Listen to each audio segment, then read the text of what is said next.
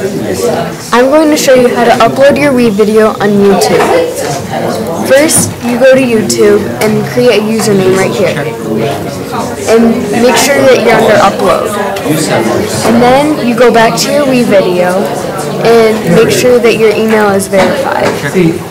Just make sure it's the correct email. And you have to click on YouTube and connect it to YouTube. And then you have to grant access. I've already done this though, so that's why it gives me this error. So once you've done that, you go to your projects and publish.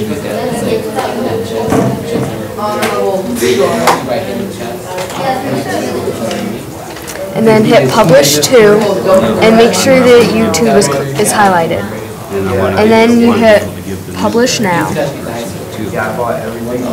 Once you have done that, it will send you an email on your computer, and you can send that link to your teacher.